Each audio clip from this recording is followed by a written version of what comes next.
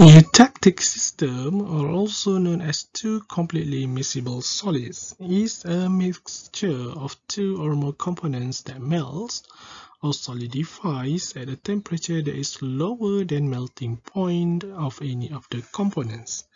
So here we have the eutectic phase diagram that describes the behavior of the alloys or two components of which are completely soluble in liquid state and entirely insoluble in solid state.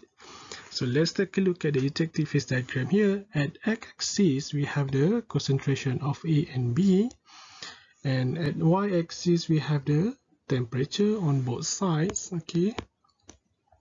And here we have the melting point for component A. Here we have the melting point for component B and here we have the liquid region.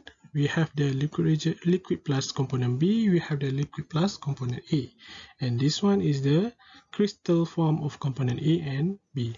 So this one is the uh, boundary that separate the two components. Okay?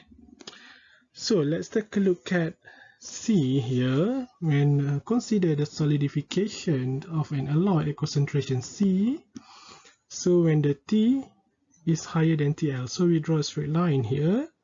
Okay, when the temperature is higher than TL, a single liquid phase exists. So we symbolize here as M. Okay, this one is the single liquid phase exists. And then it goes down here. When the T reach the value of TL at this point, we symbolize as M1, solidification starts. In this case, the formation of primary crystal or a solid in this case are the crystal of compound A. So when it goes down again, when the T reach at this temperature, symbolized as T, at point of MT and this point also, the liquid phase of composition at Cy and solid phase consisting A are in equilibrium. Okay, as the t equal to te so it goes down again here and reach at, at this point. This point what we call as the eutectic point. The point where the maximum number of allowable phases are in equilibrium. So you reach here at the te which is the eutectic temperature. The formation of component a or crystal a stops and the remaining liquid phase having composition ce eutectic composition transform to a mixture of small a and b in a solid crystal. So here we have the uh, crystal of component A and B. An example here when we have tin and lead to form an eutectic mixture at 183 degrees C with the eutectic composition of 62% of tin and 88% of lead. So the melting point of tin and lead are 232 degrees C and 327 degrees C respectively. So sketch a, an eutectic diagram for the mixture of tin and lead and label the axes, the melting temperatures, the eutectic point and also all the phases present.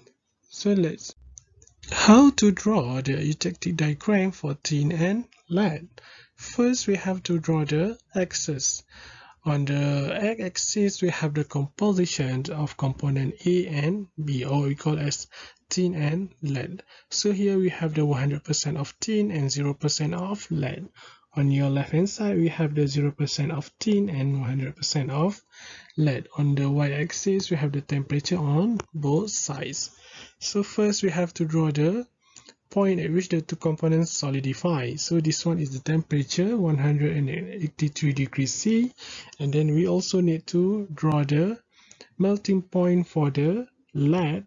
Here we have the 327 degrees C and the melting point for tin we have here 232 degrees C. So at this, uh, we also need to label the region. Here we have the liquid region, we have the liquid plus tin, we have the liquid plus lead and we have the solid uh, lead and solid tin okay at this point we have the composition of both components which uh, consists of 62% of tin and 38% of lead so we label at this point as the eutectic point